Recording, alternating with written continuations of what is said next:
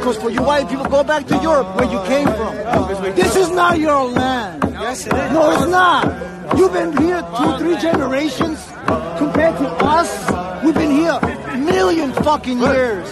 So get the fuck out of my face with that shit. So,